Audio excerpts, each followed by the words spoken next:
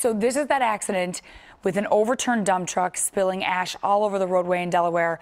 Route 1 northbound, it is closed at Route 273. Your alternates, Route 7 or Route 13 will be your best bet. You come into this, even trying to get to your alternates, bam, that's what you're going to be sitting in. Absolutely, completely stopped there in Delaware, traveling at around one mile per hour.